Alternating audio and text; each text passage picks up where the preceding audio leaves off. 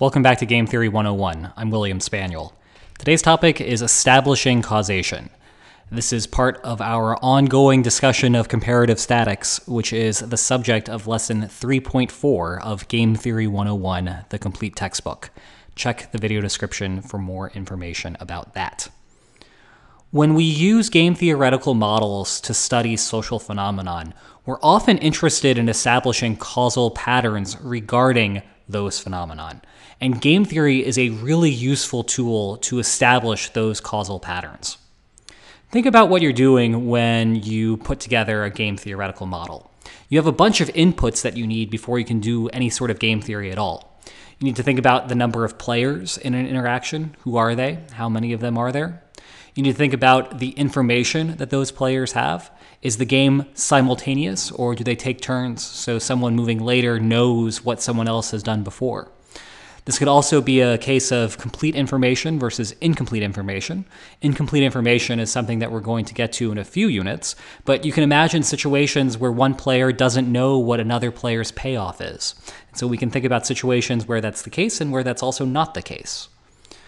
When we have the players playing a game, of course, they need some strategies or some actions to choose. And then lastly, there are payoffs. So we have a bunch of different outcomes that can occur based off of the strategies that the players take. And each one of those outcomes has a payoff. What do those payoffs look like? What are those players' preferences over those outcomes? Once we have all of these inputs written down, that's when we can start finding equilibria, essentially doing our game theoretical stuff, what we've learned in the past, say, couple dozen lectures, and what we'll be learning more about forthcoming in the future lectures. But when we do that, we're just using math to spit out outputs. We take inputs, we put them through this function known as game theory, and the game theory spits out outputs for us, like the strategies that the players will play in equilibrium, the outcomes that are associated with those strategies, and also the payoffs the players receive after playing those strategies. So we can figure out not only how well off one individual is, but also think about maybe welfare. How, off, how well off is the collection of individuals that are playing the game following the end of that game after they play the strategies that are prescribed to them.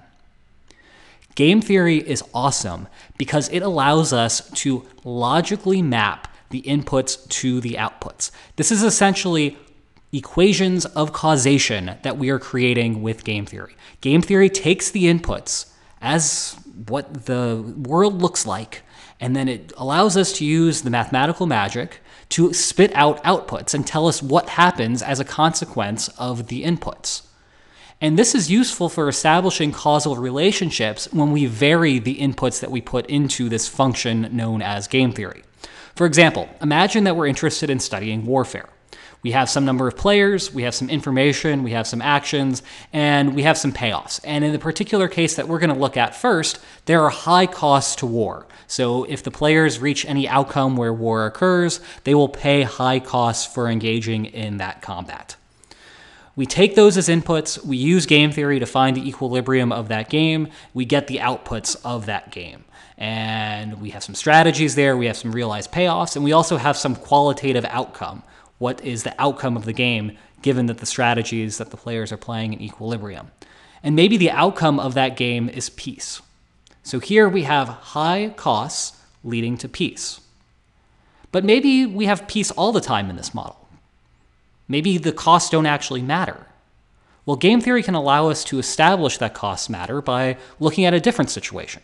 Let's hold everything else constant the players, the information, and the actions available to them. And let's just add one thing let's add low costs. So instead of having high costs, we change the model to have low costs instead. We're varying the parameters that we put in there as inputs.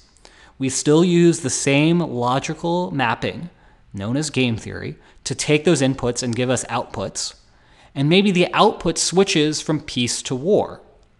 Well, now we have a clear causal argument. When we have high costs, we have peace. When we have low costs, we have war. So, holding everything else constant, we can observe using these equations of causation, known as game theory, we can now say conclusively that high costs cause peace and low costs cause war. And this is what comparative statics is going to be doing for us. We're going to learn how to take a payoff input, in this case, which is high cost versus low cost, and see how the outputs of a game change as a function of those parameters. So join me next time when we get to that. Take care.